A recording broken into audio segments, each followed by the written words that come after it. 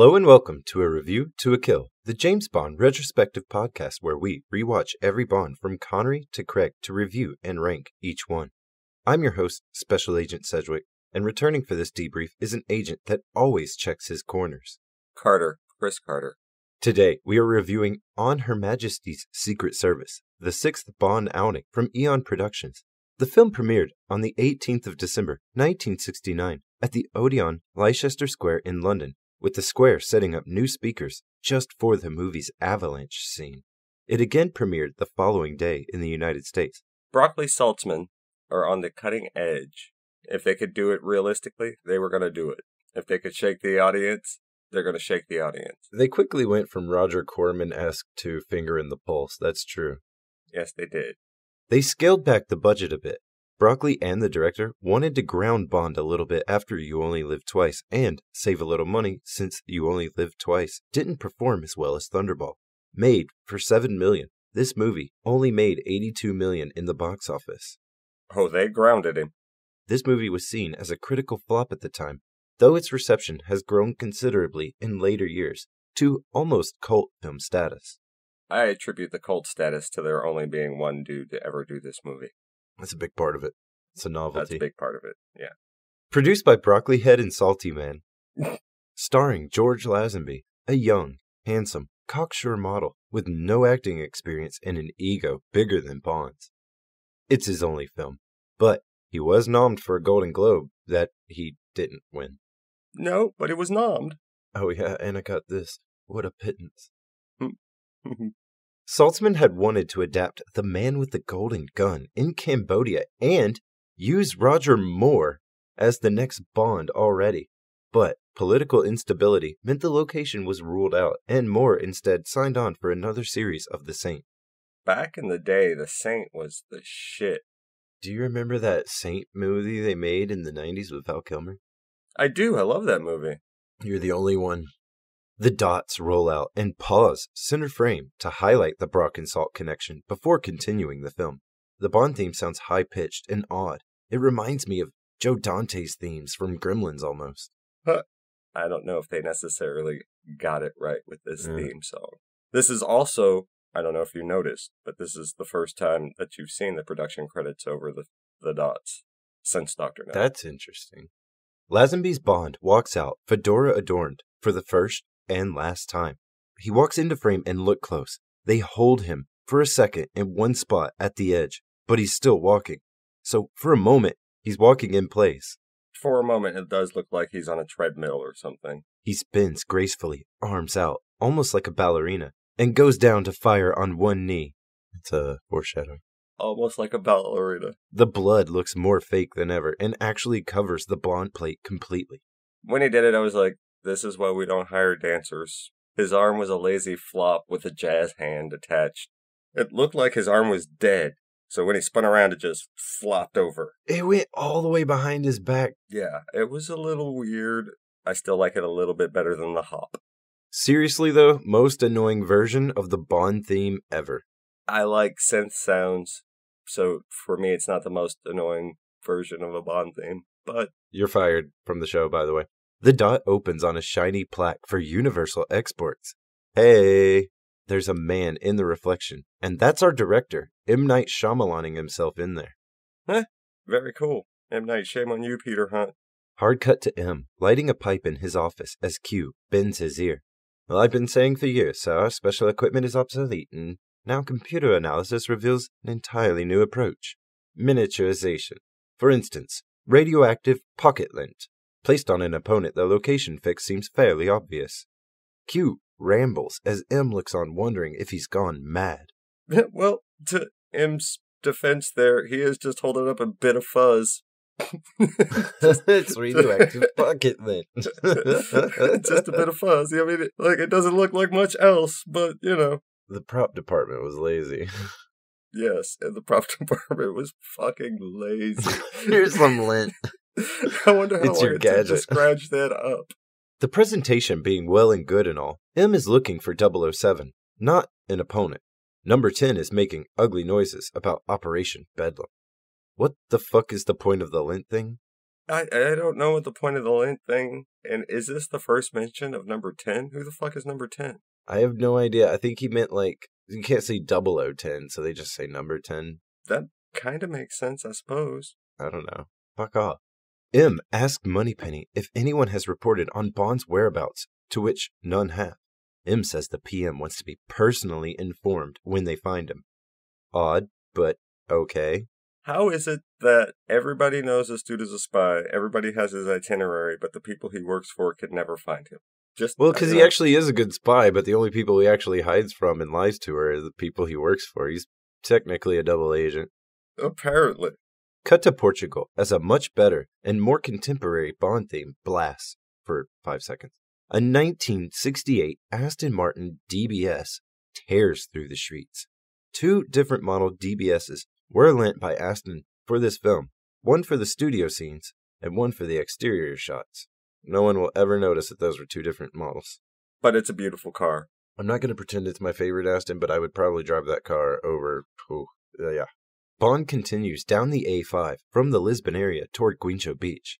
This is a beautiful mountain coastal road, but the view is quickly interrupted by a fire engine red 1969 Mercury Cougar RX 7 roaring up behind Bond and incessantly honking her horn. It's Tilly Soames all over again. She passes, and this time he doesn't steady on. He revs up and gives chase, taking both hands off the wheel to light a cigarette. The Bond theme strikes again, but again, it's back to the John Carpenter version. I like that, the John Carpenter version. As they try to make Bond look as cool as possible while holding off the meta face reveal of the new actor. At the beach, he pulls up next to her parked car and pops his glove compartment, which is a secret cubby for a sniper rifle kit. He grabs the scope and uses it to scope the chick that he's following for literally no reason. Literally only because she raced past him. Watch me with a scope while I go do my business because I drove past you, fucking weirdo. Right? I have news for you. This is how he acts as Bond for the whole movie. A little bit weird. Weird and rapey. So they shot the scene, then superimposed a crosshair as if we're looking through a scope, but we could see outside of the circle and it's the same magnification. yes, it's like they put a transparent crosshair just over. Just over the lens. Here's a sticker. we don't know how to shoot through a scope. Although we've done it before, but we don't know how it works. We shot through a barrel, but we're not going to shoot through a scope. We see the woman's face. It's Diana Rigg from the Avengers. No, not Marvel one. And not the 90s one either. You may know her best, depending on your age, as the baddest ass in Westeros, Olenna Tyrell. You kids probably know her from Game of Thrones. I know her from The Avengers, which was just as dope a show as The Saint. Probably a little bit doper because there was way more action. Mrs. Peel, ass kicking in a tight black bodysuit. My god, man. She takes off her shoes and goes for a dip in the ocean, and this creeper stalker flips out and speeds down the beach like a demon. She's knee deep in water, and he runs out like David Hasselhoff without the slow mo. My whole thing was jump to many conclusions. It's like, what are you doing? Why are you doing that? Why did you go chase this woman down? In the context of the film, she actually is like depressed and walking into the ocean. But you, as a viewer, have no reason to understand or believe that. It just looks like she's wetting her feet in the ocean, and this guy is freaking out, goes out, kidnaps her, drags her back to the land. Yeah, yeah, it's really weird because like there is no setup for her apparent suicide attempt. It's just this chick walking into the beach. It doesn't even look like a suicide attempt. This movie gives you no setup for that at all. At all. She doesn't even look depressed. He grabs her. She says no. She struggles, and he picks her up and forcibly carries her away, which is abduction. He drops her off on the beach and helps her regain consciousness, which I guess she lost going into shock from being kidnapped. That's what I was thinking. I was like, why did she faint? And she just he grabbed her and she just passes out. That's a hell of a defense mechanism. I, I know a lot of animals that do that. You know, you poke them, they just pass the fuck out. Goats. She's a goat. Stiffens right up. Ugh. As soon as her eyes open, he's like, Morning, my name's Bond, James Bond. Don't move, a man says, holding a gun behind Bond. There's two men. One takes the woman away, and the other makes Bond lie down on a boat. This is Raphael, played by Terence Mountain. He goes to shoot Bond, but Bond kicks the gun away in a wonky edit, then hits Raph with an anchor, sending him somehow 30 feet from the boat, causing Bond to sprint after him to fight him again. Oh, and we get the final full reveal of George Lazenby's face when he says, hello there. Uh, but in this very first fight scene, I immediately missed Toho Studio. Just immediately. and I don't blame the fight choreographer or the actors. I blame the editor because apparently the editor has no fucking idea how to edit anything, let alone a fight scene. Oh, oh.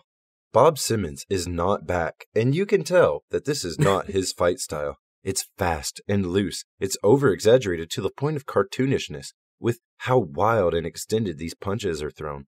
The stylized editing, to be generous, stylized, does not help this Looney Tunes esque feeling. I know I was complaining about Bob's slow, stiff, uninspired fight coordination, but this is the extreme in the opposite direction. Completely extreme in the opposite direction. You have no idea what the fuck is going on half the time with these jump cuts. I don't understand how they could go from what they just did in Japan to this. To this. The man holding the woman sees his partner getting waterboarded by Bond and drops the woman. Bond traps Raph under a boat and the other guy in a net that's just barely folded over him. All of a sudden, the bitch nicks his Aston. Just for a moment, she drives it up the beach to her car and cheeses it the fuck out of there, leaving Bond to stare directly into the camera and say to the audience, This never happened to the other fella. This fourth wall breaking moment is one of my most hated Bond moments ever. People were like, Well, he was just being rhetorical, right? And like, I forget, I think Peter Hunt was the one who said, No, no, that was straight at the camera. That was for the audience. It is one of those weird things that some 60s movies decided to do that think, make them think that they were funny. Peter Hunt thought that shit was funny. Tonally, it doesn't work in this movie because this movie is not a fucking comedy. It doesn't work in a Bond film. And it's not an action comedy. There's no there's no real other chuckle moments in this movie. It's a Bond film, not Deadpool. Right. Also, guy, maybe this never happened to the other fellow because you ain't Sean Connery, buddy, even though your ego was somehow bigger. Yeah, George Lazenby famously had a serious ego problem. Laurence Olivier ego. The music strikes up, and it's got that same odd 60s pre synth vibe to it, though not as grating. The imagery of the titles are composited so smoothly and more skillfully this time, with striking imagery that gives way to a recap of the Bond series so far for the rest of the titles. This and many references to past Bond films, i.e., the fourth wall break, were to connect the new Bond to the old one and to say, this is the same guy, and that's directly from the directors and the producers. That was their intention, not another bloke using the name as a code word. I'm just saying, this is something that they'd cement with Craig and his parents' grave with the surname of Bond.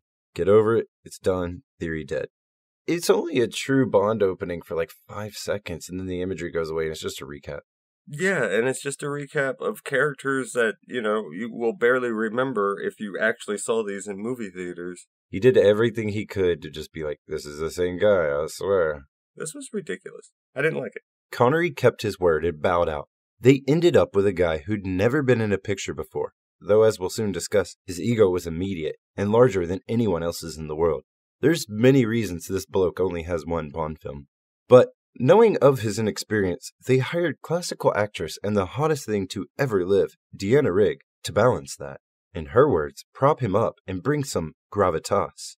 They famously did not get along. But that's what happens when you hire Peter Sellers Part 2. Hmm. right.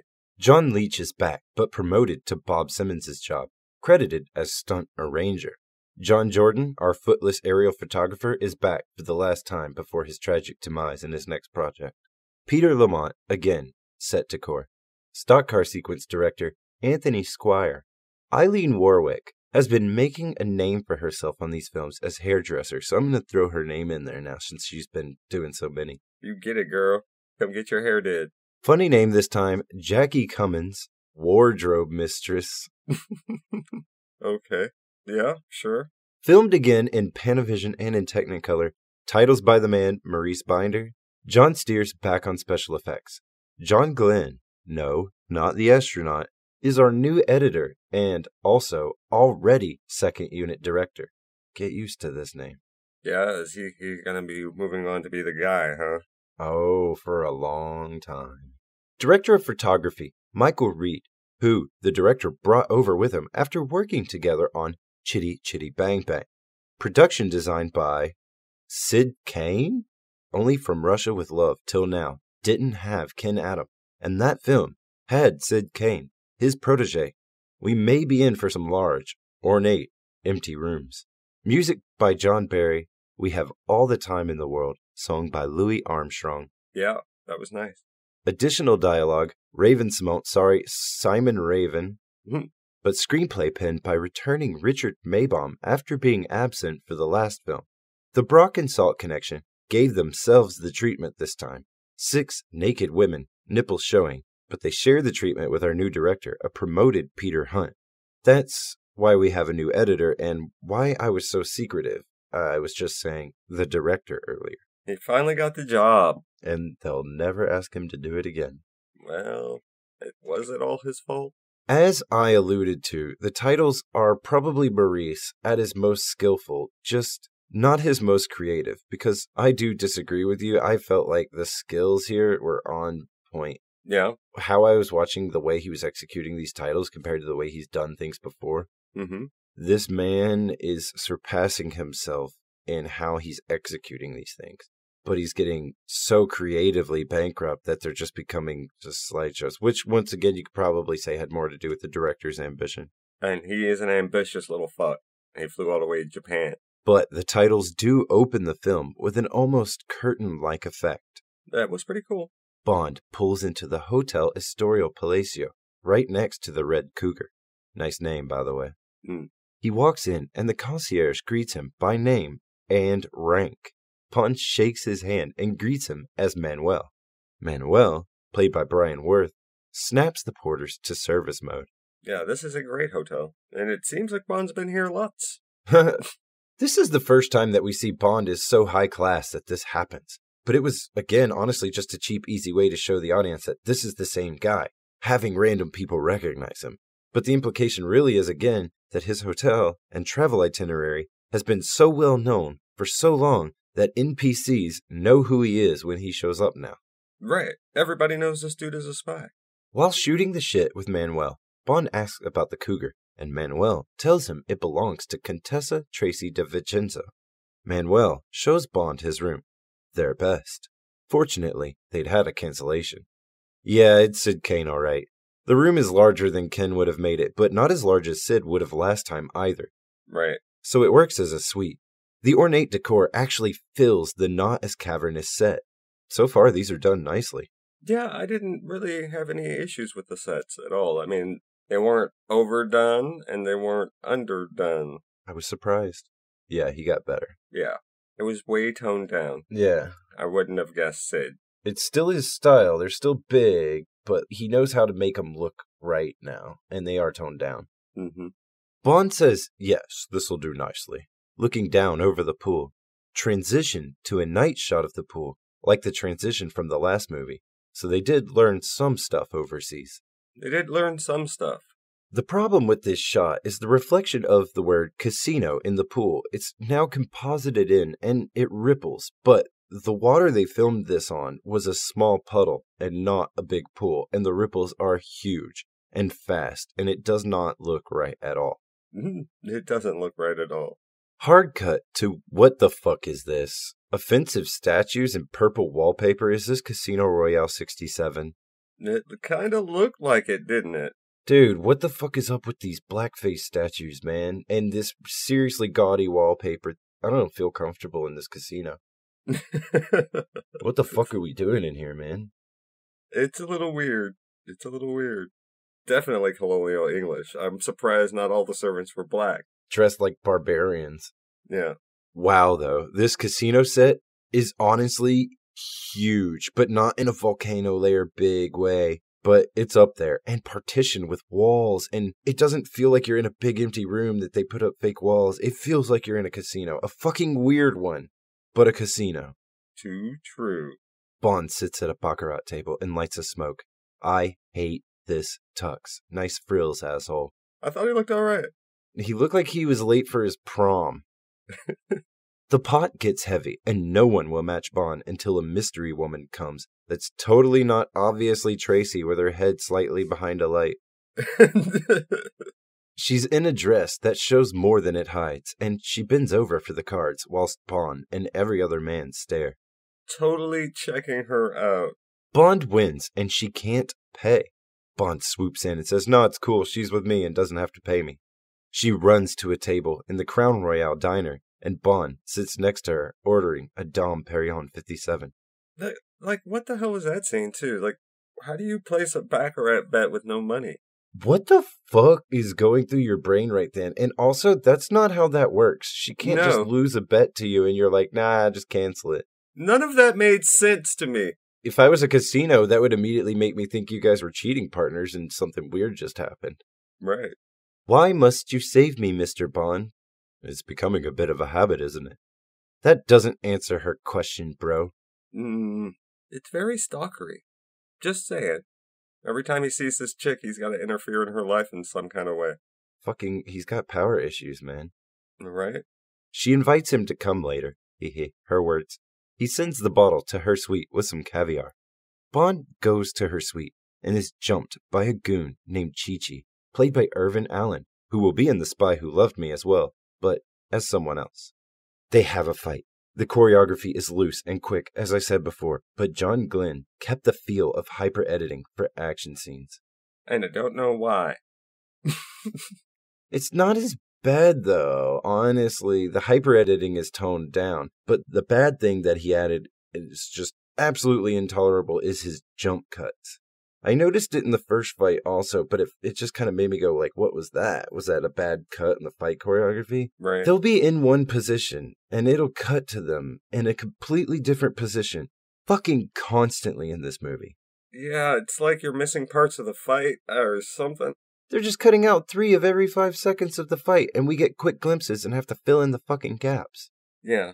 Like I said, I don't blame the fight choreographers or the actors. I blame the editor because it's bad. I kind of do, honestly, because it's not, you can't just blame it completely for that because the director and the fight choreographer honestly have to shoot it in such a way that, I mean, we've talked about this. When you're doing a fight scene, the worst thing you can do is have a cut. right in the middle of the fight scene. Basically, people are in different positions from the cut before in the fight scene because it instantly takes people's brains out of the fluidity of the fight. What happened here was a travesty, and, and it's everyone's fault, honestly, because they all should have worked together to make sure that didn't happen. Bond knocks Chi Chi out and drops two one liners Gate Crasher and I'll leave you to tidy up. They didn't make my one liner list. Nope. Well, I mean, if you didn't like that one, don't worry, he'll throw out a hundred more. Then they do the grape scene again, but actually better. After having rendered his foe unconscious, he straightens up and calmly walks out, but pauses to slap some caviar on a cracker. Cause fuck yeah, I paid for it. And the guy's unconscious this time. And, and he's a caviar expert, so, you know. He info brags to no one on his way out into the hall, saying, Beluga, north of the Caspian, for literally no reason. For literally no reason. Who is he talking to? He's just got an info brag.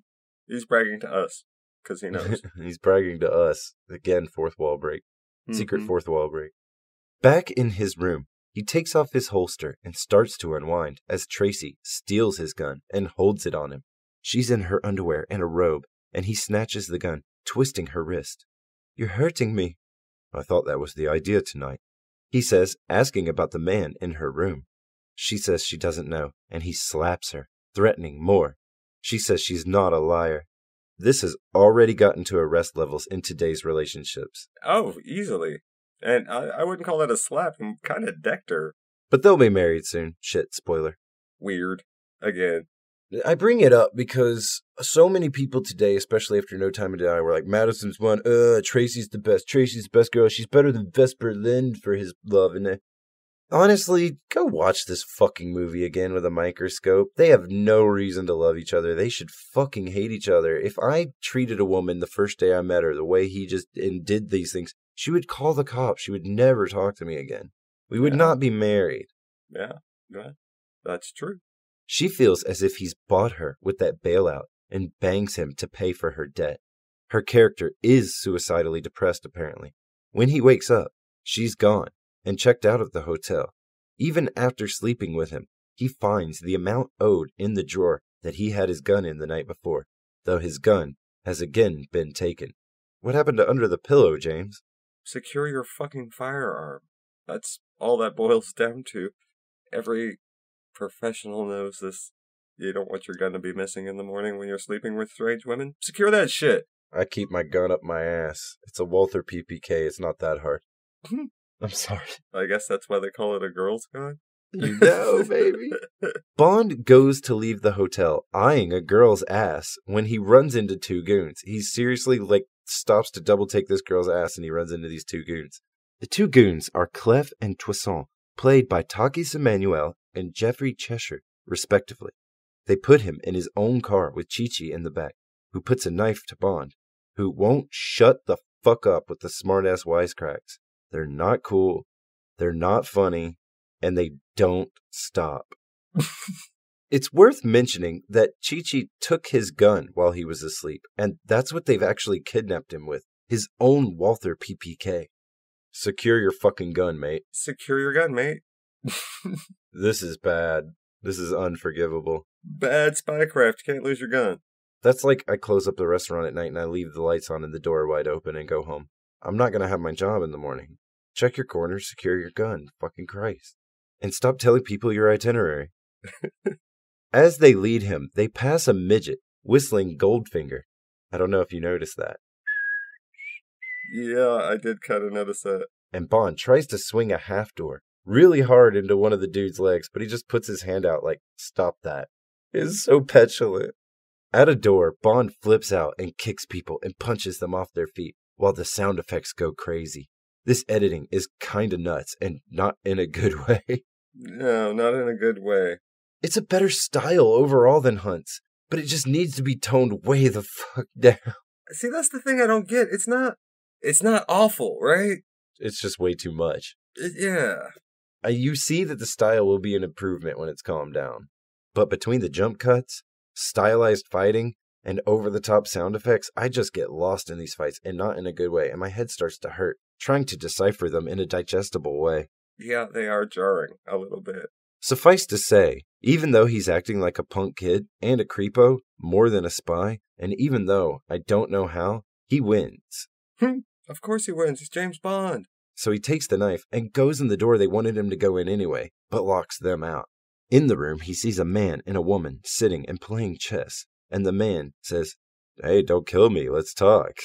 And Bond throws the knife at a calendar, hitting the 14th. But it's the 13th. I'm superstitious. No, you're bloody not. And the one time Connery said that was a joke about setting her up because he didn't fully trust her with his plans to steal the Lektor. One of the many callbacks Peter Hunt was doing, but he forgot the point of that. The man here is Tracy's father, actually. Mark Ange Draco, played by Gabriel Ferzetti, head of a powerful European crime organization which is called Union Corps, or the Union Corps. Euro Teamsters, essentially. He is dubbed by David de Keyser. Huh, he's dubbed? Very well this time, though. Very well, yeah. I didn't notice he was dubbed. He was super suave. I like Draco. I love Draco. I do. He's kind of a caveman, but whatever. Draco reveals that Tracy is his daughter with an Anglo woman, and he had her schooled in Switzerland, which explains a lot, like A, her accent, and B, like just a lot more in the future. Yes. He tells Bond of her troubled past, offering Bond one million pounds in gold if he will marry her. Bond refuses a million dollars for his bachelorhood because he's never heard of divorce. he does. And this was Exposition City for Tracy. Apparently, this whole scene was just, yeah, my daughter. All about my daughter.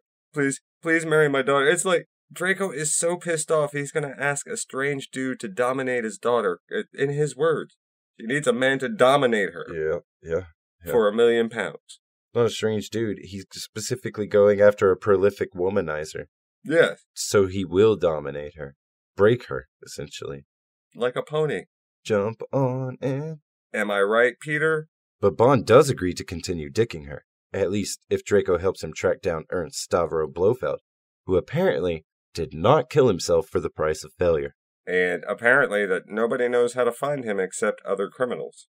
Right. Makes sense. Just I like fair. it. It's Fair. What doesn't make sense is you wanting to set this dude up to assassinate your competition so he can marry your daughter. I just the whole Draco thing kind of bothers me. Bond is beyond redeemably rapey and creepy in this. It is. The whole film is very Mad Mini. It's this is so problematic, honestly. Hard cut to Moneypenny's office, and the hat toss is seamlessly tracked. James, where have you been?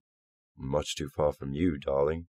Silly old James, she says as he squeezes her ass. Yeah, we're back to uh, Thirsty Moneypenny again, too.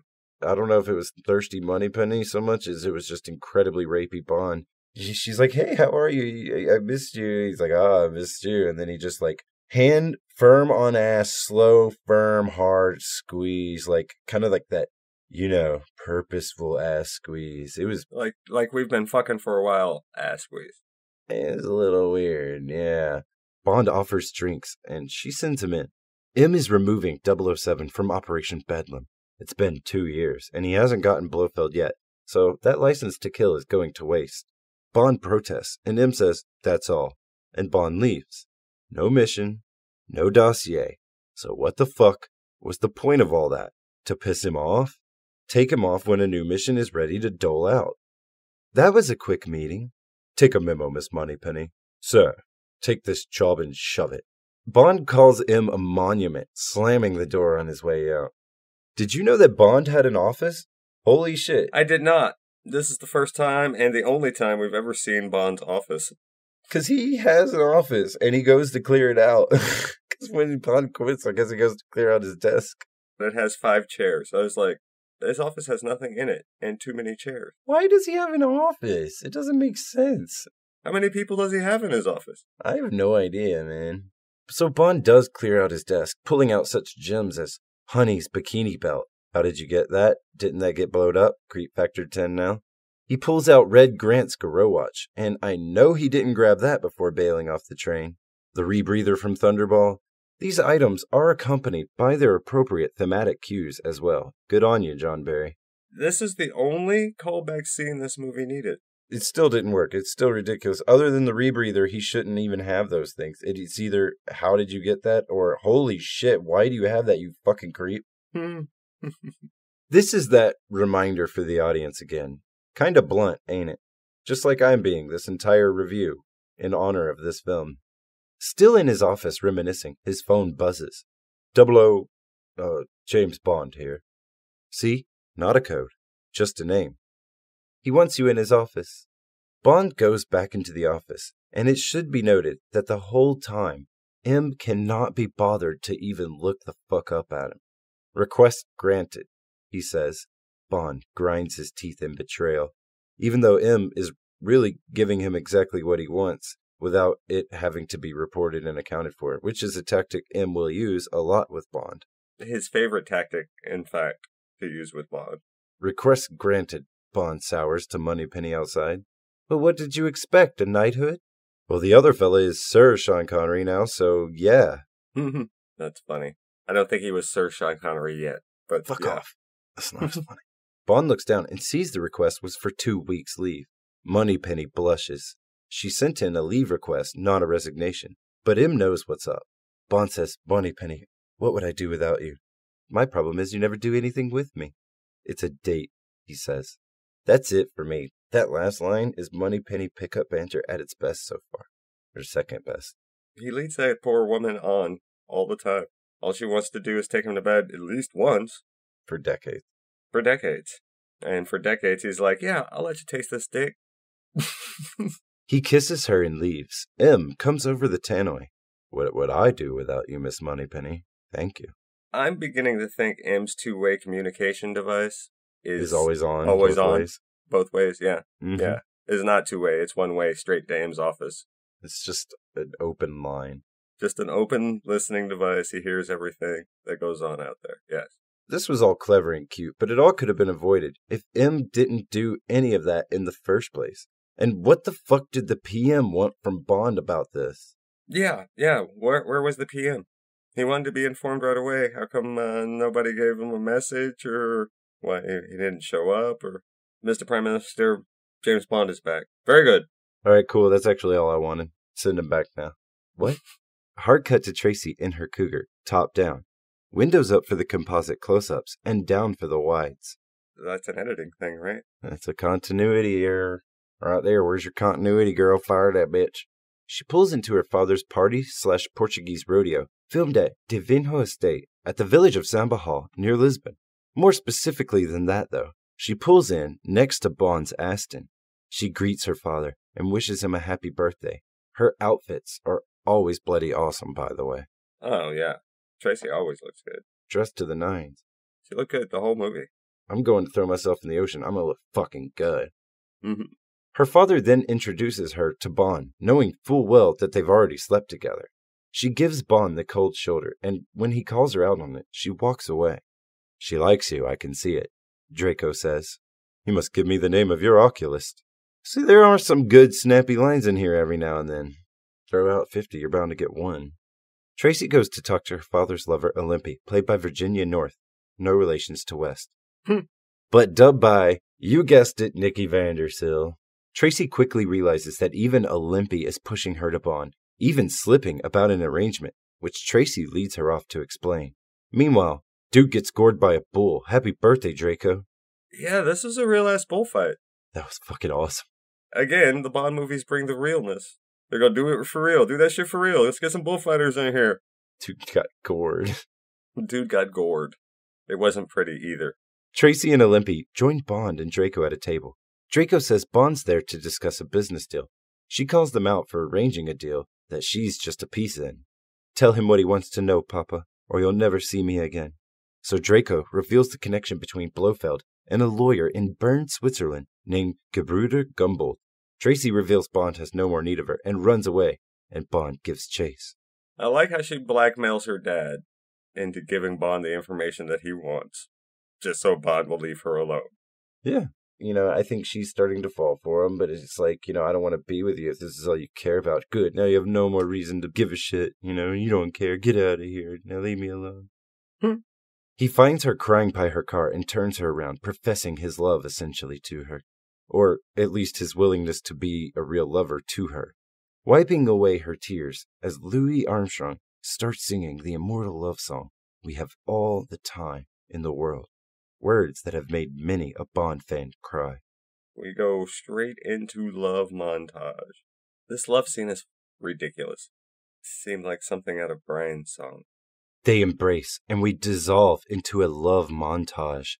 Horseback riding, walks with a cat through a garden, walking on a sidewalk, running and playing on a beach, walking again in that same park but in different clothes. Hmm. Fuck his suit in this shot. Hmm. Extend a couple of the previous shots and end with them looking at rings through a window. That was fun. Cut to bears. That was fun. Cut to bears. And that's pretty much how it goes.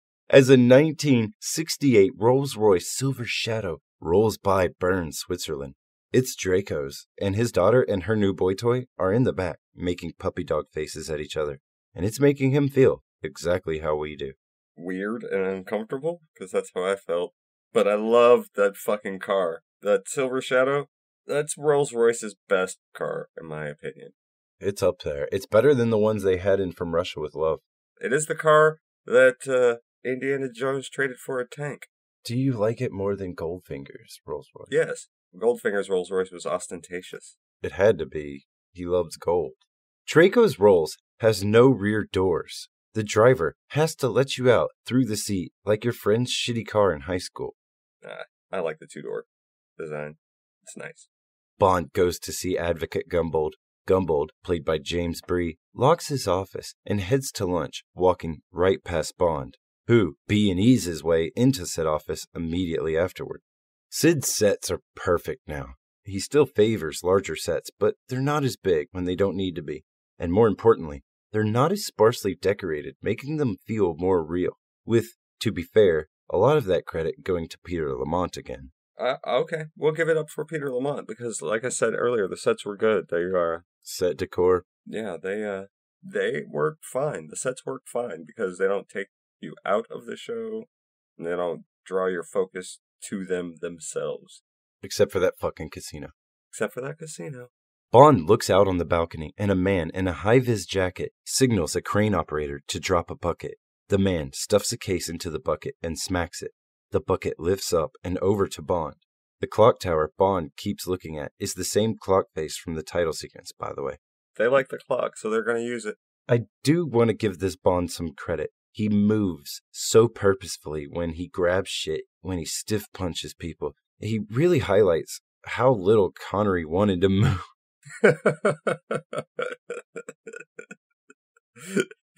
oh, are you saying Sean Connery's lazy? Yes. Yes. Sean Connery is incredibly fucking lazy. I'm sorry.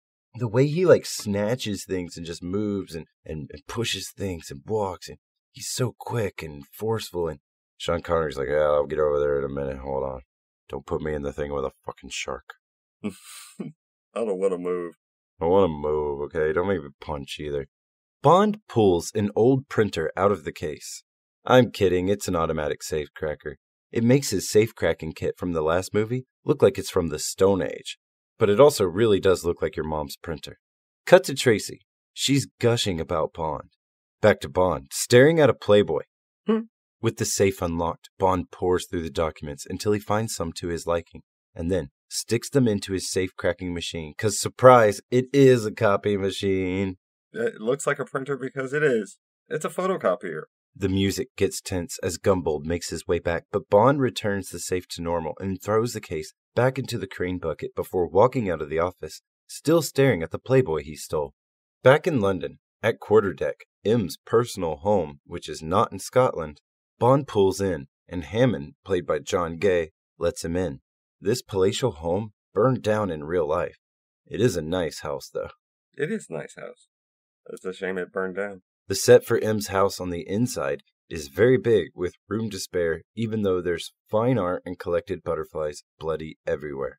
Bond emasculates the butterfly that M is pinning, and by extension M, which his face shows perfectly. Yeah, how you gonna talk shit about your boss's hobby? That's just brutal. It was mean. It was mean. It was an info brag, but it wasn't. It was just mean. It was just a dig. mm-hmm. I wasn't aware your expertise extended into lepidoptery. M is also starting to wonder how this guy knows everything in these info brags. Like how does how does how, yeah? Well, when did you have time to study this shit? M reveals the letters he copied were sent by Count Balthazar de Bleuchamp to the London College of Arms. Bleuchamp being French for blue field, the same as Blofeld. Yes, obviously an alias. He asked for permission to go to the college to talk to them about it. So, after some establishing shots, Bond meets with Sir Hilary Bray, played by George Baker, a neighbor of Peter Hunt. Baker would also provide the dubbing of Bond in the scenes when Bond is disguised as Sir Hilary Bray, as Peter thought Lazenby's impersonation was naff.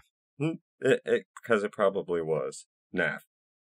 and And why is every English academic a knighted Hillary? It's not the first Sir Hillary I've come across in academia.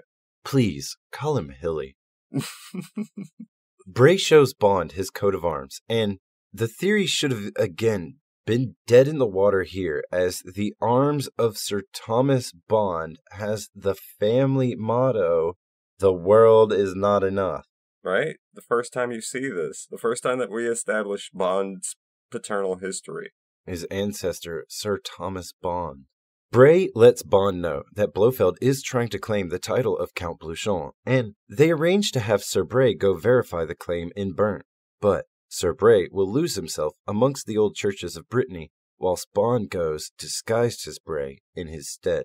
Bray also tells Bond that the Bleuchamps have no earlobes by genetic characteristic. Now, when I first heard this, I thought everybody has earlobes. What they mean is Yes, I know. It's, not a connected earlobe. They they don't have the a, a dangly earlobe. It's a double whammy of an attached earlobe that is incredibly really small by genetic preference, looking as if there is no earlobe, which happens. I've seen it. Yeah, Yeah, I know. I've seen it. I've seen people with small ears. Yes. Cut to an establishing shot of Switzerland. Bond gets off a train, and watching over him is that blonde construction dude from earlier, the one that helped him when he was making copies. Making copies. His name is Sean Campbell, played by Bernard Horsfall. Bond is quickly approached by Irma Bunt, played by Ilse Steppat, and Joseph, played by Joseph Vasa. Bond is dubbed by the actor who plays Bray, as I said here, and there are times, like when Joseph grabs his luggage, that you will not see Bond's jaw moving whilst you hear him speaking. In fact, there are a lot of these. Yeah. Stop ADRing more lines in. Stop it. Stop adding more shit. They tuck into a two horse sleigh. For real. For real. Covered themselves with a pelt and departed while Bond puffs on a pipe, not too dissimilar from Bray's, leaving a smoke trail you could follow for miles, which is good because Campbell has to up the mountain in a 1969 Volkswagen Beetle. And I have to do this again, and I'm sorry, but in You Only Live Twice, I was so caught up on the driver being The Rock's grandpappy that I forgot to mention he was driving a 1964 Dodge Polara. Back to Sean Campbell following Bond's smoke trail in a Beetle. that Beetle had a hard time getting up the hill too, because it's so sped up that everyone is power walking. Maybe everyone just power walks in Switzerland. What the fuck do I know? uh, I don't think that's true. But yes. it's sped up. they had issues with all of the driving on the mountain and the sand and Well, they kept not shooting there because they couldn't get enough snow, and then this season they had way too much. yeah. Bunt and Bond get to the chopper. They'll get the rest of the way up the mountain that way, leaving Campbell watching on. Now, we are treated to a mini montage of alpine money shots. Gorgeous shots of the mountains as they fly over. Bunt turns into a tour guide and points out avalanche damage to him and us, the audience. They also show skiers and a dude bobsledding, all in a quick bit of setup. They literally montage their setups for the film in like five seconds. They literally do. They fly to the top of Bleuchamps Mountain, which is the Schilthorn Mountain above Mürren, Switzerland. At the top, Bleuchamps built some allergy research clinic that's really an evil layer in, in their universe. But in our universe was a revolving restaurant under construction called the Piz Gloria. So to get permission to film there, they had to pay 60,000 pounds in 60s money to furnish the place and build the functioning helipad that we see now Huh. as one that they could permanently use. Wow. It's kind of nuts. 60,000 pounds in 60s money. That's a lot of money. That is kind of nuts. If you go to that restaurant today, by the way, it's still there. They are obsessed with the fact that Bond was filmed there. Who wouldn't be? And what is up with Blofeld and mountain lairs? Apparently, this dude likes to live in mountains. Likes mountains. I like mountains. I agree. I get that. I get that. You know, there's a serenity to that. When you're when you're full of malice and hate, you really need all the serenity you can get. you really need all this.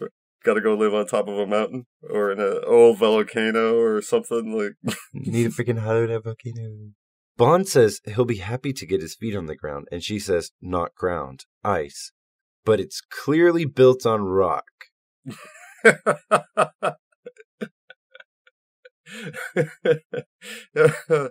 but it's clearly built on rock, Ice moves, lady.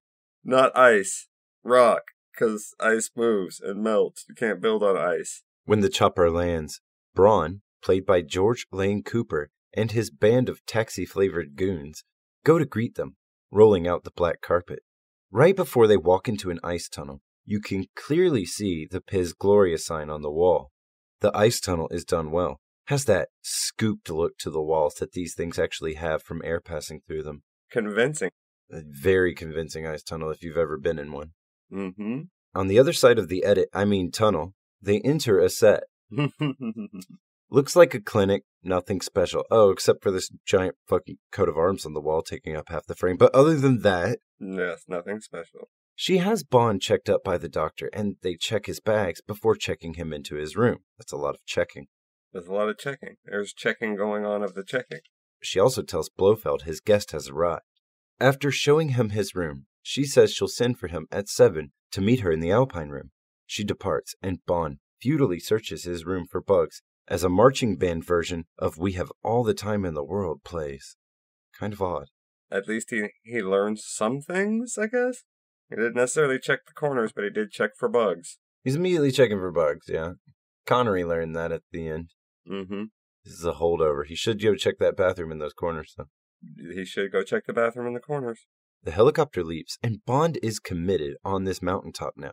So he dons a kilt and full Scott garb and hits the Alpine room, which is stocked with swankily dressed ladies. A bunch of them, and every one of them are like, Oh, a man! that That's what I wrote in my notes. Ooh, a man!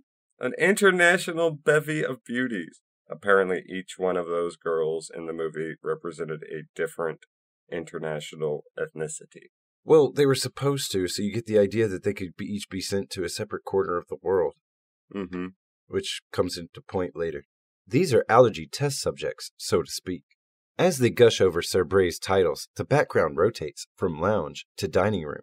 Also, she serves him steak, piz gloria, in another honor for the under construction restaurant they shot on and around. I suppose it would not be a Bond movie if there wasn't at least one rotating room. They ADR more lines in after the fact that are obviously put in when no one is talking on set. The girls get him to talk about the College of Arms, and he goes on forever, and it's so fucking boring, but they're all enwrapped. They fade into a later time, and they're still all just wide eyed amazed at every word he's saying, as he's now gotten to listing when each house was certified for their coat and what different stuff on them mean. These women would be asleep. One girl writes her room number in lipstick on his thigh under the table. This is Ruby Bartlett, played by Angela Scoular, who you may recognize as Buttercup in Casino Royale 1967, with her eternal nickname, Daddy's Little Thermometer. the other girls are played by Anouska Hempel, Danny Sheridan, Helena Rooney, Ingrid Back, Jenny Hanley, Joanna Lumley, Julie Ige, Mona Chong, Silvana Henriquez, and Zahira, who is billed as Zara, with Katharina von Schell as Nancy, the only other one to get a name in the credits. Bray Bond is called to meet with the Count. He's taken through a few rooms, which are a succession of sets, showing off how Syd Cain had improved and was closer in style to his teacher now, even if still not as good. I mean, don't misunderstand. These are amazing sets, but remember when you said Ken Adams set apartment trends in the 60s? Yeah. Syd Cain made some impeccable sets here, but he wasn't setting any trends. No, no, his sets were impeccable, but he wasn't setting any trends. In Bleuchamp's apartment slash office slash lab, Sir Hilary Bray meets Count Balthazar de Bluchamp. And how the flying fuck is Blofeld not like, Good evening, Mr. Bond, nice to see you again. I know it's been two years, but I doubt he'd forget the dude who fucked up his evil SpaceX volcano. They met before, right? Uh, why doesn't he recognize him? So the answer in our universe, because they don't give one in their universe, is they're literally Jurassic Park 3ing it. The feathers have been there the whole time. Basically, it's don't question it. don't ask. Seriously, so basically, Peter Hunt said, I'm going to do OHMSS. I'm going to do it by the book. I'm not going to change anything in the book. And because this story came before Yolt, this is where he meets Blofeld. But if that's the case, how come he's still chasing Blofeld after two years? You know what I mean? Like they tried to have their cake and eat it too, and that's why it comes off incredibly fucking confusing. And to this day, people are like, "Why didn't Blofeld recognize him?" Yeah. Maybe it's because they're both different people now, as Blofeld was also recast to Telly Savalas. But for real, if these two immediately recognized each other, then they're playing it off well, and their characters are better actors than George Lazenby. Wooden line delivery coupled with shark jumping over the top moments when action is called for, this guy should have stayed a telecommercial model. He's not the greatest of actors, but he's not the worst. Yes, he is. He's damn near. Hmm. they go over the Bleuchamp verification a little bit, and Blofeld explains that they lock everyone up to control the variables and so on, since it's an allergy test center. So later on, locked up in his room at night, Bond clips two bits of rubber eraser around a long strip of metal and uses it to short out the door. He goes to Ruby's room and cheats on Tracy. Yes, he does. He goes to Ruby's room. Well, she did fucking stick her hand up his kilt, give him a tug, and write her room number down. Oh, yeah, like next time I cheat on my wife, that's what I'm going to say. Yeah, well, you could say no and not go to her room. Well, exactly. That's my point. He's a piece of shit. And we're supposed to give a fuck about his love being the purest here. Yeah. When Bond drops his kilt, Ruby cackles, wildly screaming, It's true! For some reason. they bang, and Bond gets her to dish about her allergies and why she's there.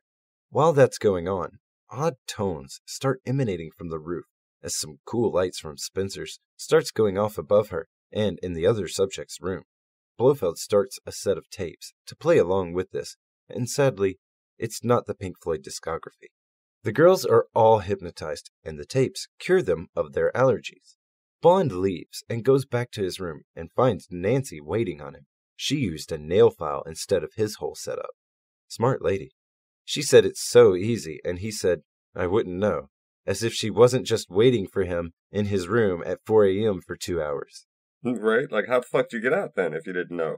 You're such a bad fucking liar. He uses the exact same three lines on her as the girl before, by the way, and they bang. Oh, yeah, the exact same lines. Worse than freshman me in high school. Cut to Campbell, and he's stuck at the ski lodge at the bottom, and he goes to the private gondola, asking about a lift to the top, and Grunther tells him to shove off. Yeah, yeah, with a submachine gun. Grunther is played by Yuri Borienko, who Lazenby had his screen test with. Lazenby threw a punch and broke Yuri's nose, which landed Lazenby a job, and Yuri the more prominent role of the muscle in the form of Grunther here. Yeah. Back up top, the girls are curling, and once again, clearly in frame of the Piz Gloria restaurant sign. Bond arrives, and there's a boner joke. I'm not kidding. Yep, there is a total boner joke. Cut to Campbell going full Alex Honnold on the cliff face up to the mountain. Some rat ass birds give him away though, and the guards shoot at him. Blofeld comes up as the guards bring Campbell over. Blofeld says, Piz Gloria is private property. So, okay. I guess Blofeld named his lair and put it up like a restaurant sign. Piz Gloria. Uh, yeah, vain, vanity, whatever. Was that really easier than just covering the sign or not keying it into frame? Because it's definitely a worse idea. It is a worse idea, but I bet you they got a discount on that 60,000 pounds. we'll show your name off if you cut 10 grand off. You're right. Bond keeps trying to get Blofeld to move the direction he wants, but Blofeld, every step of the way, counters masterfully.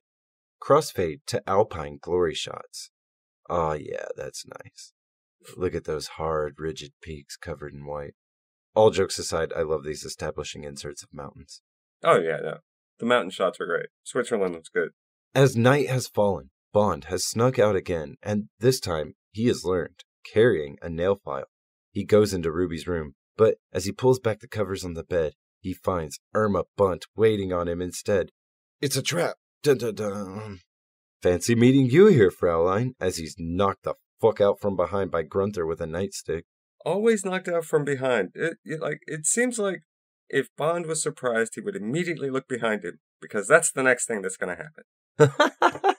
Shit, I'm surprised. Turn around fast. Right? Train yourself to, for that to be a reflex of surprise, not a dumb face and a bad line. Bond's face is meme worthy here as he falls unconscious. Lazenby sucks. He's not that bad. He's horrible. This is fucking horrible. That face, the one you're seeing as you're listening to this. He wakes up on a leather couch looking up at a Christmas tree. Merry Christmas, 007. Blofeld says, as he knew all along, cause how the fuck wouldn't you? Right? Bond tries to keep up the charade, but Blofeld calls him out on it, and Bond calls him out on cutting his earlobes off. So Blofeld taunts having killed Campbell to Bond. More importantly than all of that is Blofeld says that he now has the scientific means to control or destroy the economy of the whole world. He's basically a Wall Street banker. I don't know why he keeps going after the economy. I just love such vague threats. I have the technology now to control or destroy the economy of the whole world. It's like fucking what? What a blanket statement. Yeah. Oh, yeah, exactly. I don't believe you have shit now, man. kind of vague. What do you got? In typical Bond fashion, they take a topical crime of the era and have the baddie take claim for it. this time foot and mouth outbreak in England. Oh, that was a big deal, though, with the mouth in England. And considering the plot of, you know, viral spreading, Blofeld takes credit for that. Blofeld rocks here. Way better than in the last film.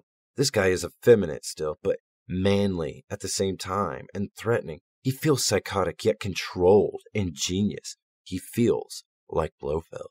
Telly Savalas was super menacing in this. It was that undercurrent menacing, like that kind of menacing that Michael Keaton can do, where you know you're having a normal conversation, but you're still pretty fucking scared. You don't know why, but the conversation was scary. It was normal, but scary. He does hold cigarettes fucking weird, though. Perhaps he got that from Mike Myers. As Blofeld continues, what he's really discovered is the ability to tailor a sterility virus, virus omega, to plant and or animal species to single out and or wipe out a species forever. This has nothing to do with anything of what he just said before, but okay. No, nothing, nothing to do with economies. That's why I was confused. If his demands aren't met, he's going to wipe grains and livestock off the face of the planet. You're just going to starve people to death.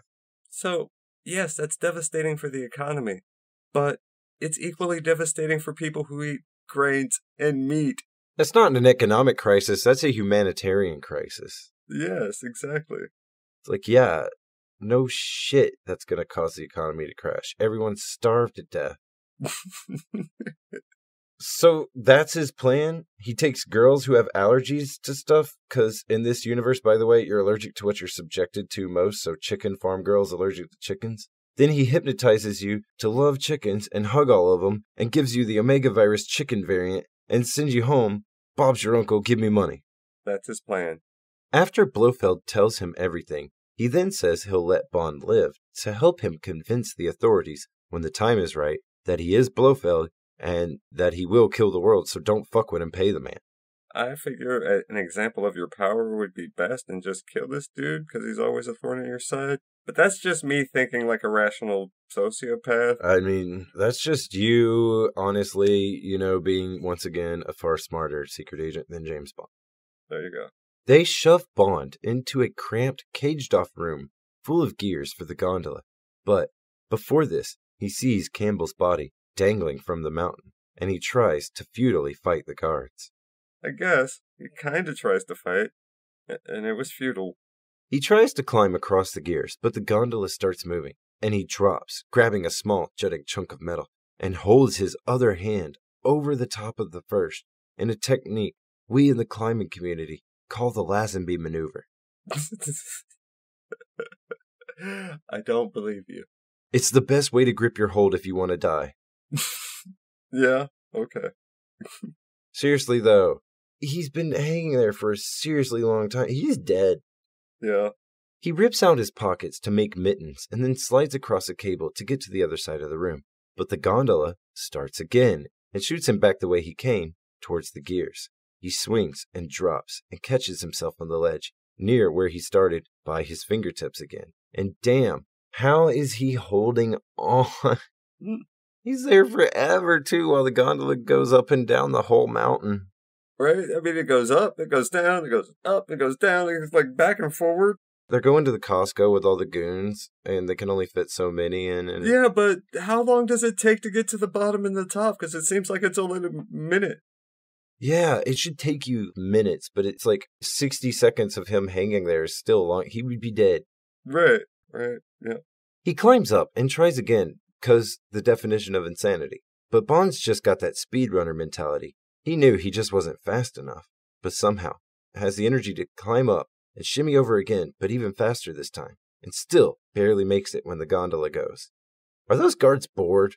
What's going on? There's like three of them. Are they playing with the gondola switch? That's what they're doing. Is they're click on, off, on, off. You guys can't make it up the mountain. Bond dead hang shimmies on the cable outside now, and the cable car returns, threatening to chop his fingers and send him plummeting down the mountain face. Bond swings slightly and somehow teleports to the connecting shaft of the gondola about six to eight feet away and on the other side of a bulky cable roller part. you could have just had somebody drop onto the gondola and not magically teleport to the top of the connection rod. It would have been way more believable. Yeah. I never really know what time it's supposed to be because the sky is always different. Yeah, it's always night day.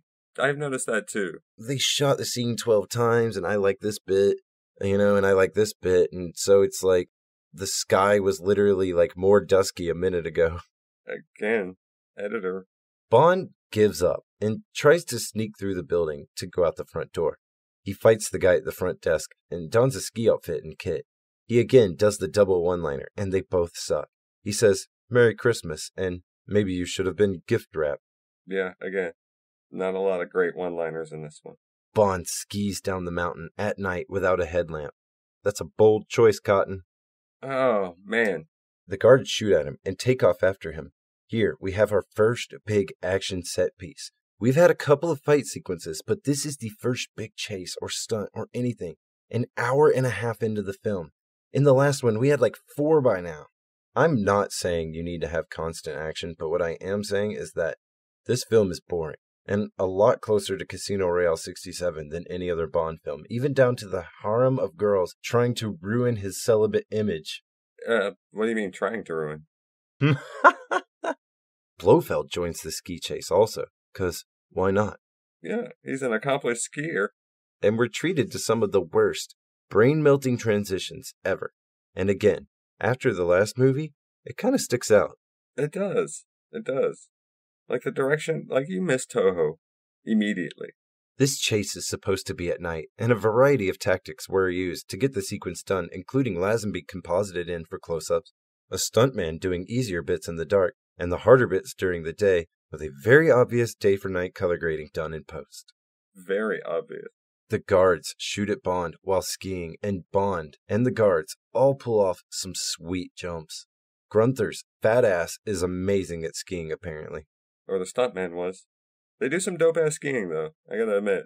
Jumps off of houses and shit. Mm-hmm. Blofeld's closing in, and the guards shoot one of Bond's skis apart, causing him to ski off on one foot. This stunt is actually kind of cool, and of course the stuntman did it for real, because it's Bond. Because it's Bond, yeah. Yes, and skiing on one ski back in the day, this is before mono skis, before snowboards. That's some ballsy ass shit right there.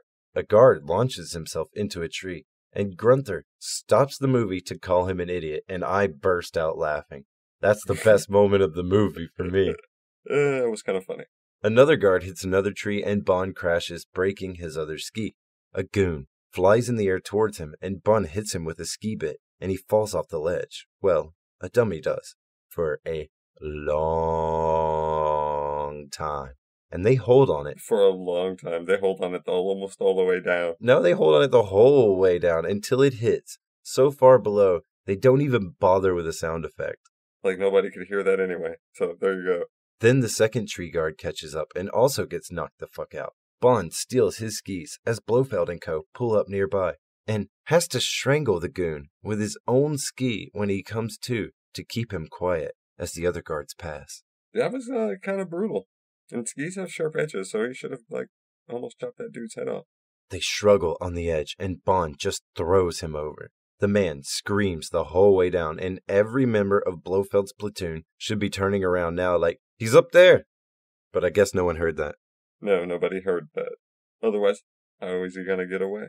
Cut to Bond, back down in the village, and the Trojan girls Blofeld called his angels of death are being bussed away to go back where they came from.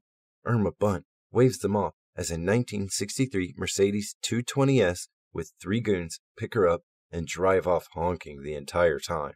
On the hunt for Mr. Bond, who just is casually walking through the crowd now? Just stealing people's clothing? Mm-hmm. Braun jumps out of the car and chases Bond into a barn full of bells, and they scuffle. Short fight, mostly Bond pushing away and Braun grabbing. Little by way of punches thrown and such, and the fight is actually kind of annoying because they're constantly knocking into bells. Yeah, like why didn't not everyone hear that? Like what the fuck's going on in the bell room? Bond dispatches Braun and another goon that runs in, and then Bond dives out of the window saying goodbye. Irma calls the goons idiots, and Bond steals a jacket, but Fat Load of Good it did him because they immediately make him again. Well, yeah, you can just wear a jacket, but you got on the same fucking onesie underneath. Which is a very specific color of powdered blue. Blue, red, and ski boots, so, you know. As Bond is being cornered near a skating rink, there's a jump scare with a park photographer in a horrific polar bear costume with a maniacal laugh.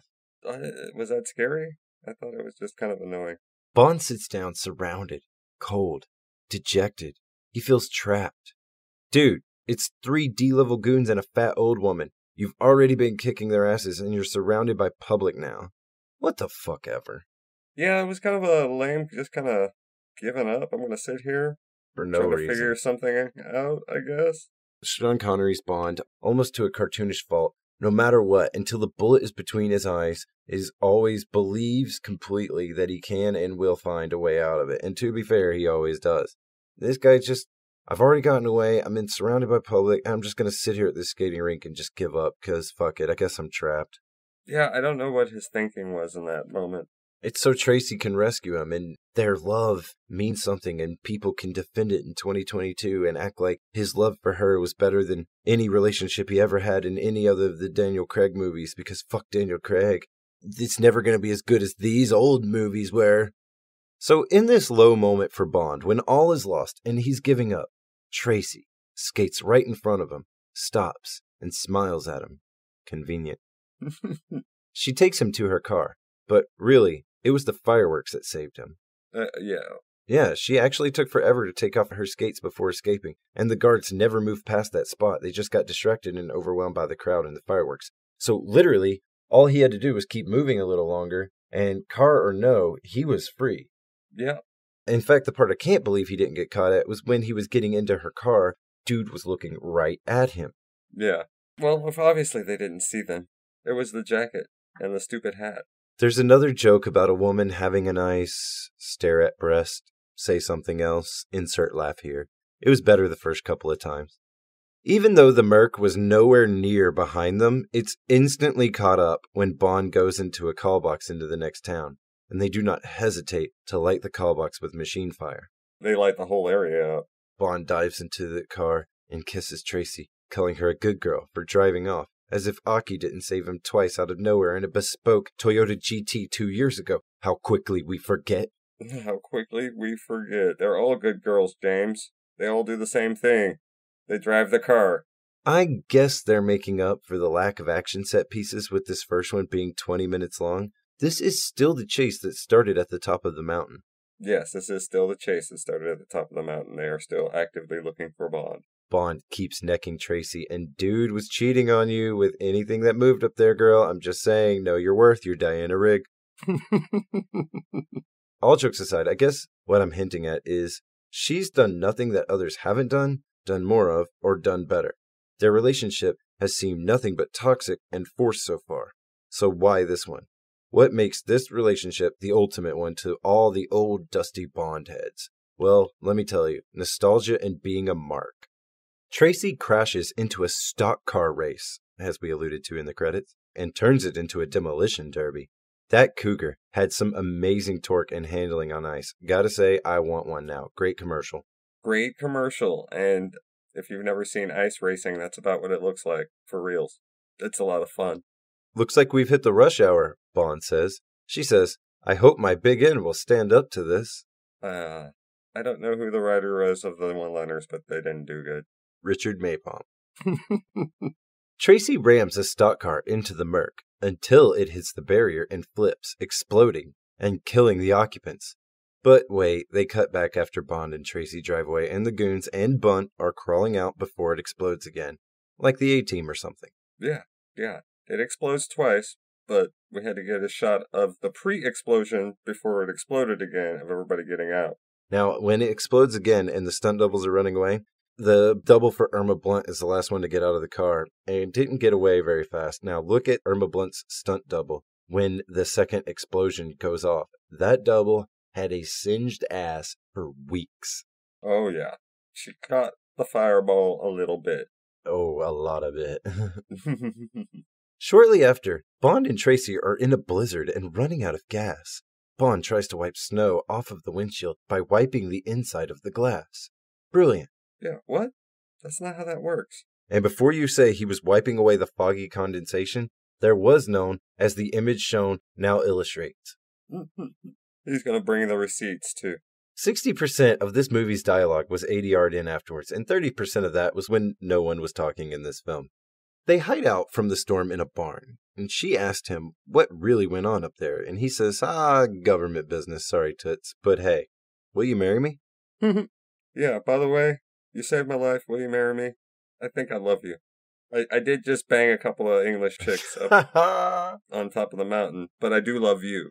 but we weren't married yet. They kiss, but Bond puts off sex for a New Year's resolution and says their wedding night will be the proper time for such things. And wow, this really is Casino Royale 67 all over again. We're trying to change the tone. But then, surprise, he knocks her cot down and she rolls onto him as he says, It's not New Year yet. The horses look on with approval. They fail miserably in trying to change the tone. I mean, they tried to change the tone, but then they Oh, they changed the tone. revert back to the old same old shit. This was bad. The next morning, Blofeld and squad kick in the barn door and find the cougar, but no Bond or Tracy. They'd already left skiing down the mountain. I guess there were some skis in that horse barn. Yeah, you didn't see them when they pulled in? A whole ski rack full of skis. That's fucking convenient. The horses ski, I guess. Convenient people just leave skis sitting around. Amazing helicopter shot over the Swiss Alps as they ski down. Fucking gorgeous. I mean it. Truly amazing shots as Blofeld catches up. The goons shoot at them with implausibly large guns to hold and fire while skiing. But okay. Bond and Tracy's stunt doubles jump over snow capped cabins. They also jump over a trench made by a huge snowblower, which the goons follow. One falling into the mower of the machine and becoming a red stain on the snow. Very Fargo. The other goons ski underneath the arch of human snow whilst Bond smiles at Tracy. He had lots of guts. The only one liner I wrote down. Yeah, that was the one. They enter an avalanche area, and Blofeld tells three goons to keep going while stopping with the rest. And they had to be the dumbest three in his squad because they didn't hesitate. They were some dumb goons, man. Blofeld sets off a signal flare near a snow face, and it somehow starts an avalanche. They usually throw dynamite into the snow, but okay. Yeah, well, that was definitely a signal flare. The camera cannot pan back fast enough to keep up with this incredibly massive avalanche that they set off for this. It is beyond insane in scale. The Swiss army had planted charges the summer before they filmed, so that they were buried proper when they set this off. Yeah, this was a massive avalanche. This was very real. I'm surprised they got to uh, film that because it was super real and they were really close. The three dumb goons predictably get washed away by the avalanche. Bond and Tracy head for the trees, which in real life would not save you. Remember the setup for the avalanche when Bunt showed the damage of all the trees blown down? Exactly. Trees aren't going to help you. Rocks aren't going to help you. The rest of the sequence is headache inducing. A combination of model shots, an actual avalanche composited badly with the actors and stunt skiers falling so far apart and ending up tumbling together in the snow, when in real life it would be the other way around. It would toss you from each other. Whenever it does cut back to actual shots of the avalanche, it's always breathtaking, though. Yeah. It's one of the best avalanche scenes that I've seen in a movie. Probably the best. Yeah. With Bond and Tracy buried under snow, Blofeld orders his men to kidnap Tracy for reasons. Reasons. I don't know why. He even totally thinks Bond is buried deep enough to stay dead, even though he just sits up after they take Tracy. Yeah. He just takes Tracy as a, a trophy because that's what men did back in the day. Who they bloody drag down the rocky mountain face as they ski away. What the fuck? Like just short of dragging her by her hair, like to the cave. to the cave, right? Blur transition to Bond at M's office. The UN has informed M they're going to give in to Blofeld's demands of amnesty for past crimes and verification of desired titles. Bond wants to storm Piz Gloria and destroy it, positing that without Blofeld's voice, the girls could do nothing, which is hilariously false. They're already armed and planted. Yeah, I mean, those girls are ticking genetic time bombs. Like, at any moment, they could just go off. M says, Nope, we have orders not to. It's too risky. You notice how there's no Q scene? Yes, I did notice how there's no Q scene. There's no Q gadgets, no Q scene. Remember, they snuck him dropping some joke gadgets in the pre-title and were like, well, that's checked and tucked in some biscuits and tea. And I felt robbed. I felt completely robbed. Bond's phone rings and he picks it up, but the dialogue that follows is of Bond calling Draco to interest him in a demolition project. Yeah, it was weird, right? That was weird. Like, did he call his secretary to connect the call before? No, because his phone rang and then he picked it up. So my guess is he left a message, but that wasn't ever clarified. So it Right. just feels like Bond's phone rang and then he started saying, "Hey, I called you." Draco brings the choppers and the men to save his daughter and the world.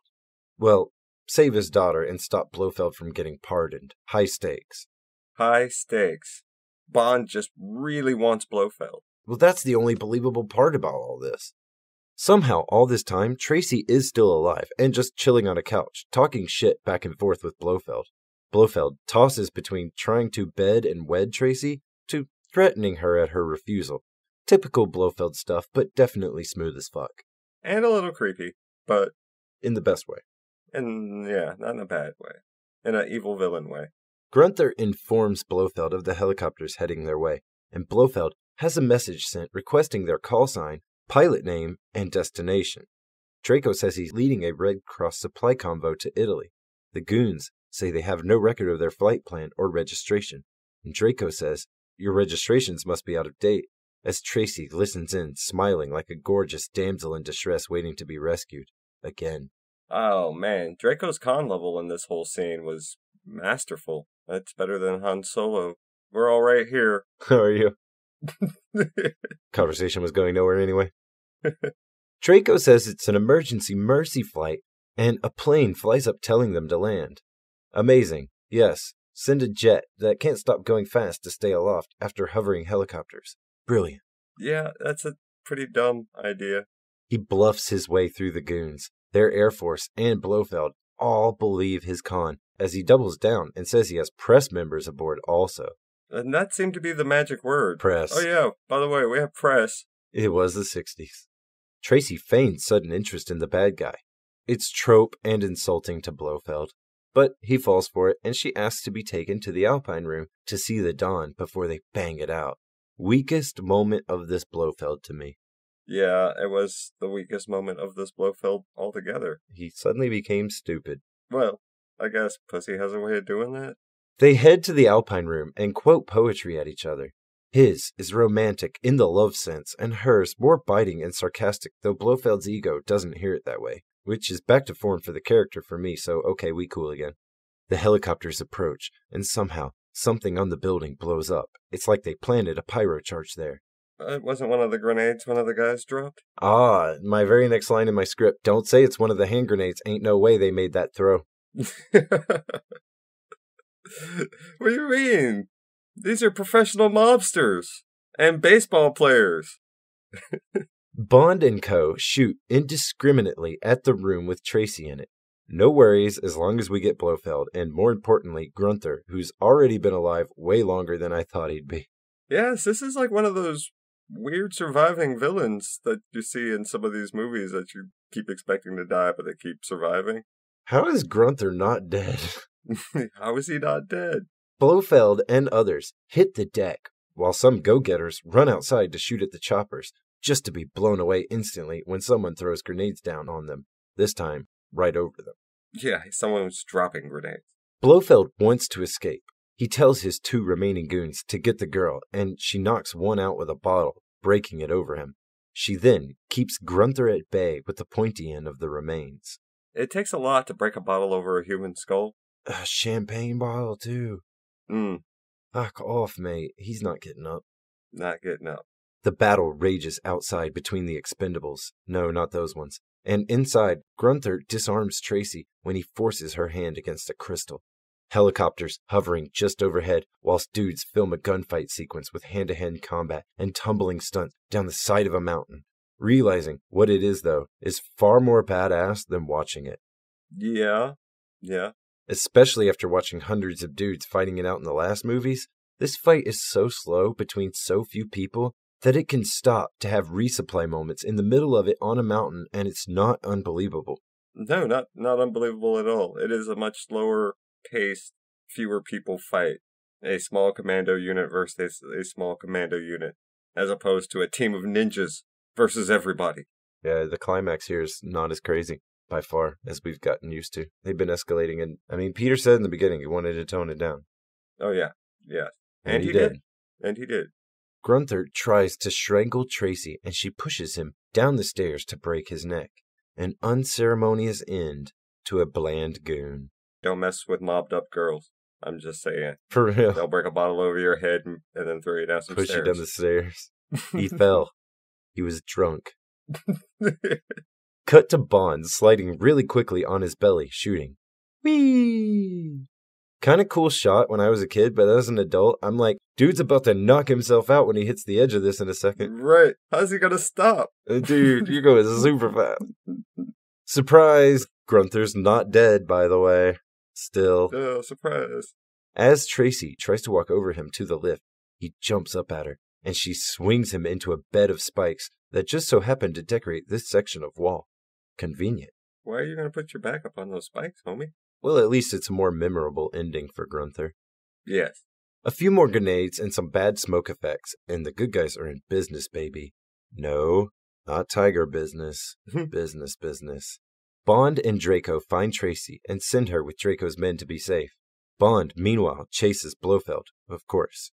Draco's men wire the place to blow, while some good guy flamethrowers a dude in the ice tunnel. Savage. Savage. Why did they bring a flamethrower? They're a demolition crew, so they brought a flamethrower? It's ice. Their demolition crew. Fair enough. Bond breaks into Blofeld's lab and tries to take photos of the locations of the Death Angels, but Blofeld shoots the map to pieces from behind. And again, dude, just shoot Bond. like, you had him. You had him dead in your sights. And you go for the map with a pistol, and he immediately returns fire with a submachine gun. So, stupid. You were stupid. Blofeld runs and Bond gives chase. Draco and his men evacuate, and Tracy tries to run in to find Bond. So Draco punches her out and has her loaded onto the chopper. Spare the rod, spoil the child, eh? He says. He decks his child. His grown adult daughter child. He decks her. He knocks her the Decks her. fuck out. Blofeld and Bond escape just in time, and Blofeld jumps onto a bobsled and cheeses it down the mountain, with James in close pursuit after grabbing one himself. This was a dope scene. I love the bobsledding scene. I've always liked bobsledding, and I think it's because of this movie. Blofeld tosses a grenade at Bond, and it explodes right in front of him and his sled, tossing him off the rack some good distance. One of the stuntmen for the bobsled sequence was not hurt by this, but another had to have stitches. Well, I'm sure. So, bobsleds go downhill very fast, right? Yes. Bond was behind Blofeld and got tossed. Yes. And then he ran ahead of Blofeld's sled and pounced onto it.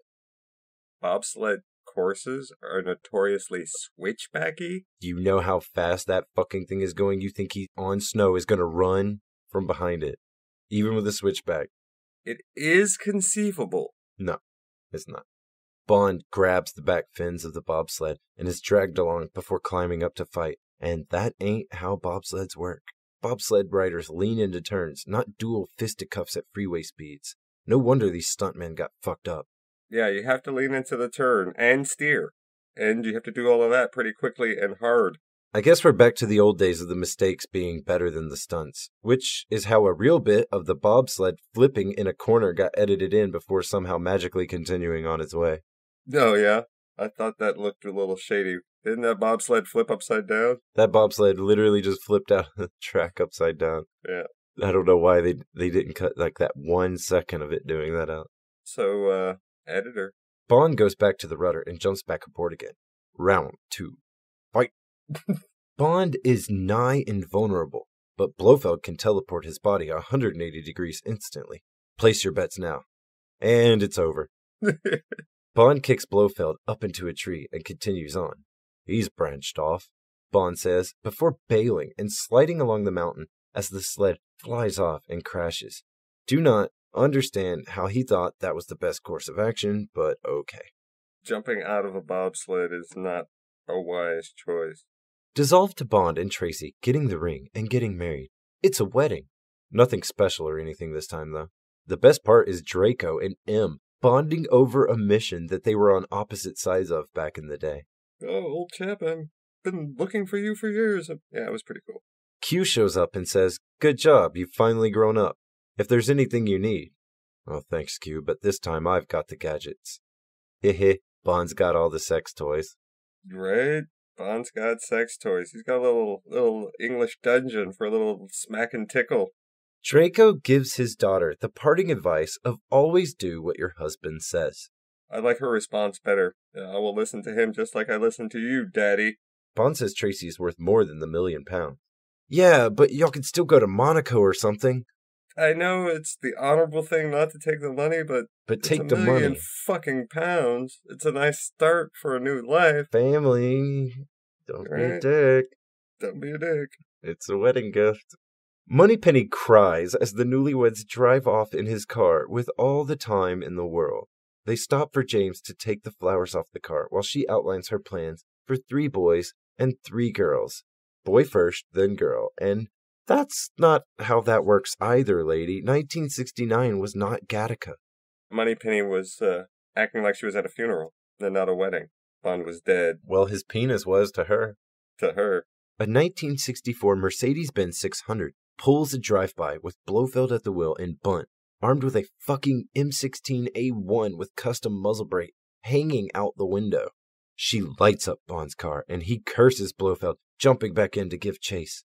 He looks over and Tracy has taken a single shot dead center forehead, right between the eyes, as they say.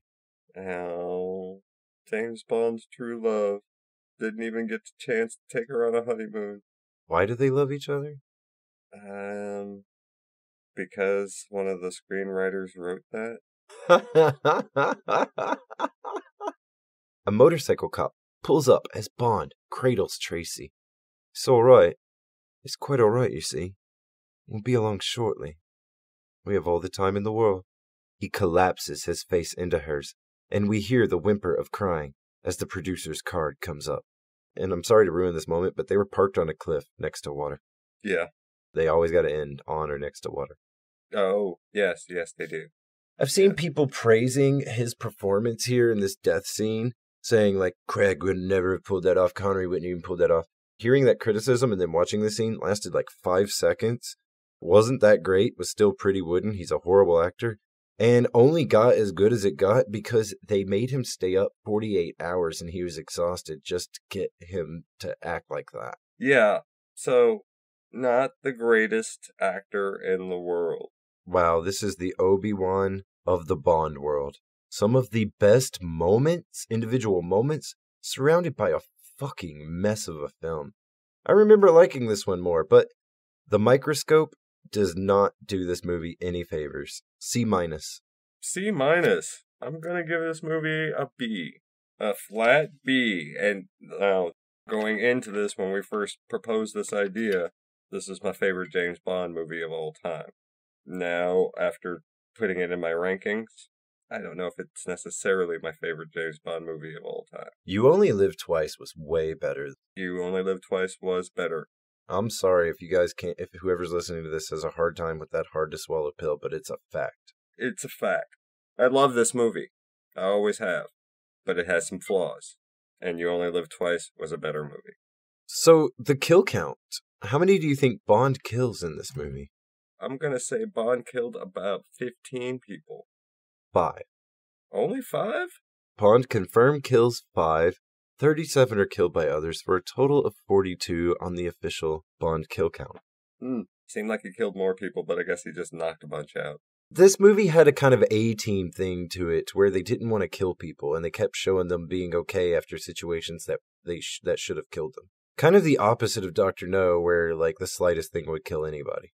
So, for the pre-title, I wrote hated it. Yes, she was suicidal and walking into the ocean. I get that.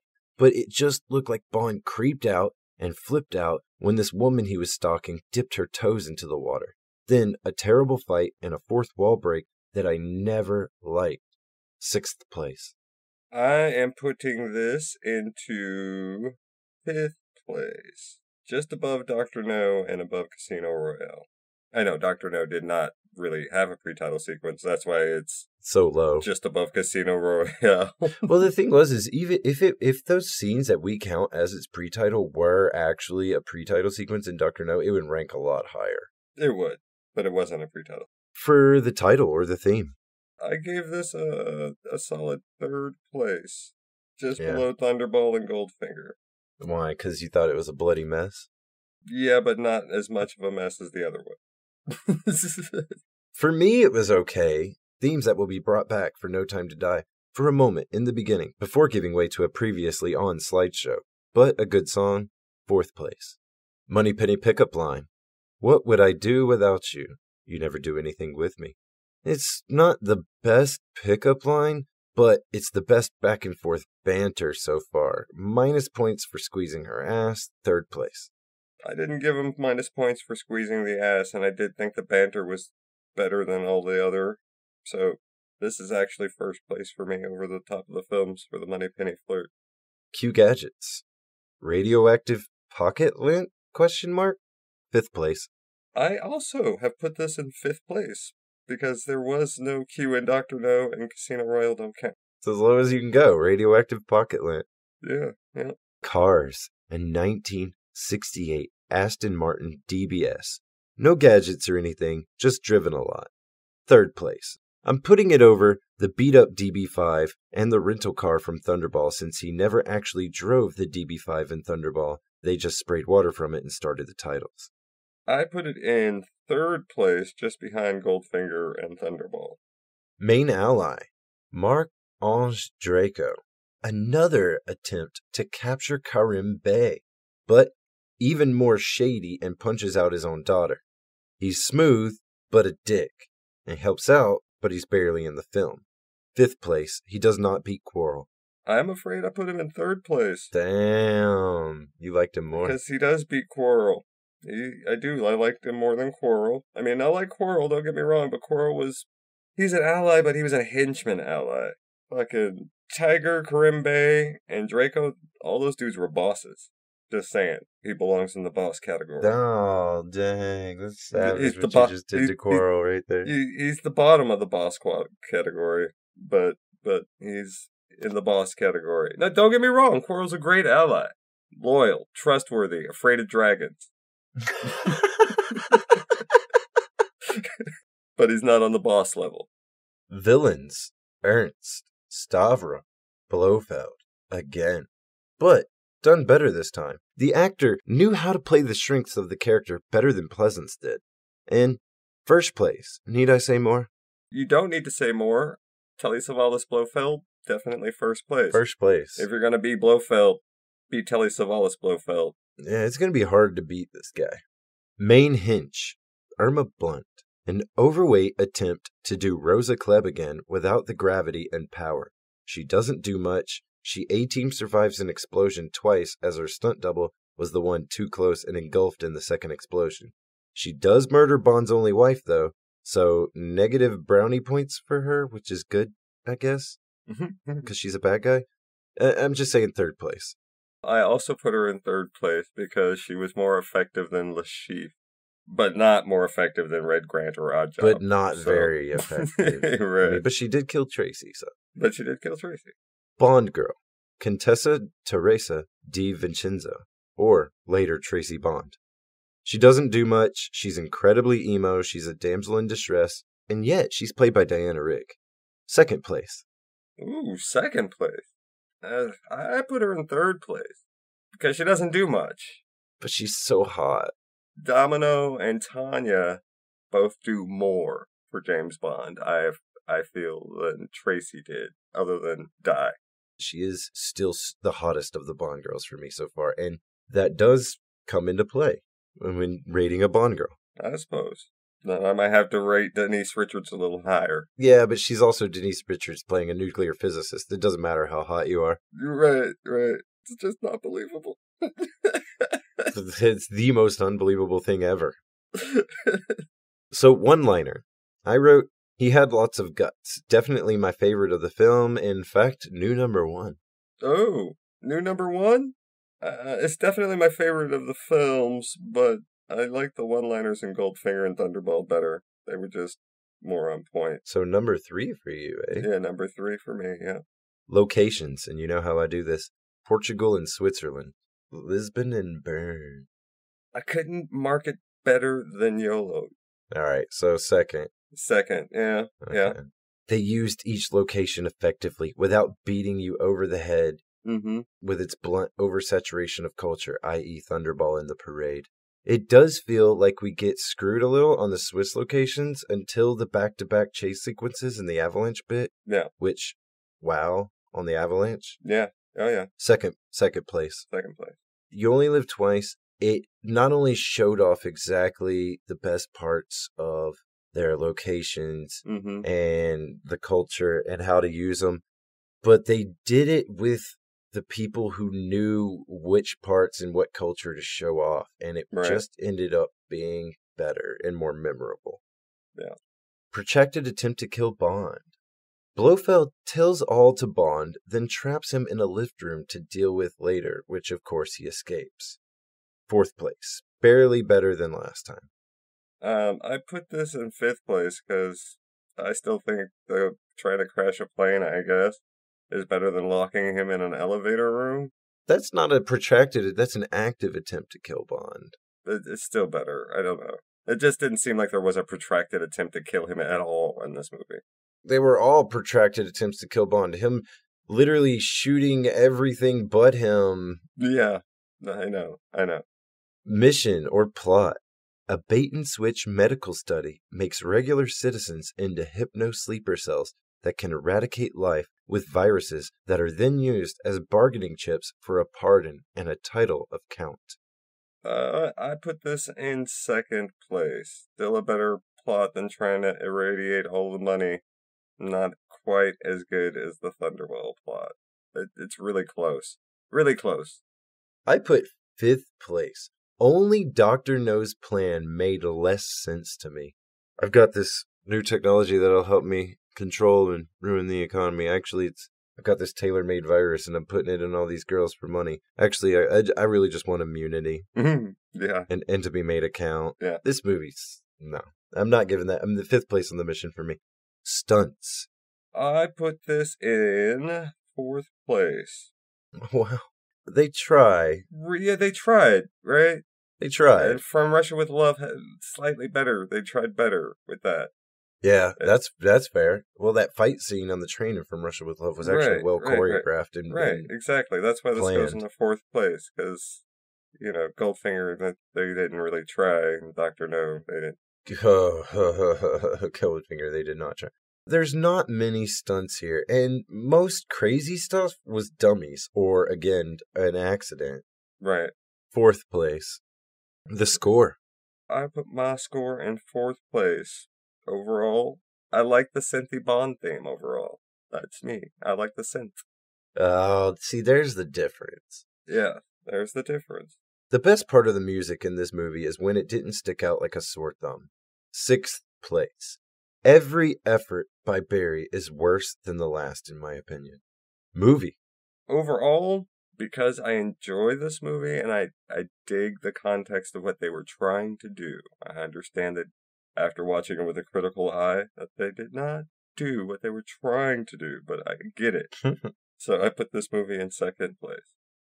Technically, Goldfinger was better, but I I laud them for their experimentation with James Bond. So there you go. I honestly thought I was going to hate You Only Live Twice and love this, but sorry, younger me, the microscope has spoken, and this movie is a mess. A couple of epic moments, and Diana Rigg does not save this sinking ship. Sixth place. Mm, And, as they said, Bond will return for Diamonds Are Forever, and so will we. Until then, I'm Chris Carter. and I'm Agent Sedgwick. Stay spying.